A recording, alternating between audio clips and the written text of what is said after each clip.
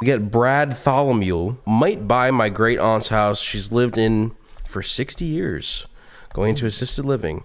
Uh, ev- even has that t- turquoise color porcelain in the bathrooms. Tips on figuring up fair price offer. No good comps. Can't send pics on Insta. Ah. Um, ask her.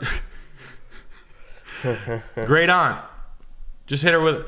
How much do you want to sell your nephew the house for? Your great nephew, Your great nephew grand nephew. She's like, I don't know.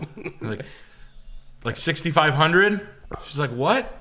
I have six thousand and five hundred and twenty eight dollars. Uh, great aunt Lucy, is that enough to buy your house? Maybe. She's like, it's.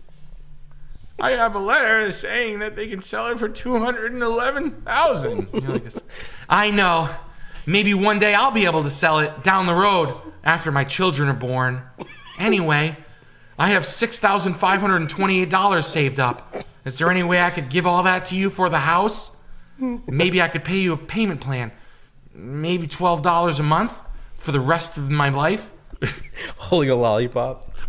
Ricky, I'll call you back. I'm trying to get this dumb fucking bitch right. Grandma, I mean, sorry. I always thought of you as a grandma.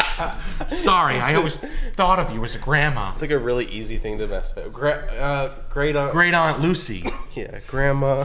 I know that I have probably another $38 in an old piggy bank upstairs at Grandma's house. You remember when you guys were at the beach with us? Here's a picture of us together.